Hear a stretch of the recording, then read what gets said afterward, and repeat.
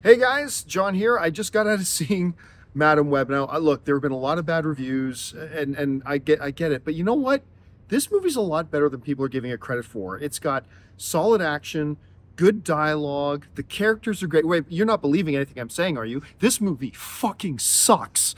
Oh my god, it's so bad. Right from the opening, like opening little thing, the dialogue is some of the worst I've ever heard in my life. The only good thing I will say about this movie is that I'm hearing some people saying that Morbius was better. I disagree. I will say that I think it's a, a little bit better than Morbius. There are a few jokes that were kind of funny. Um, there's a there's one or two kind of emotional scenes that weren't bad, but like seriously, some of the worst dialogue I've ever heard in my life. It is so. And then at the end, as she's doing her little monologue, I know that my girls will be awesome because you will show that you are stronger than than this. And it's like I wanted to gouge out my ears. This movie truly horrendously sucks. Don't go to see it. We'll talk about it more. Ray's just laughing at me. we'll talk about more on the John Campea Show tomorrow. I'll talk to you later.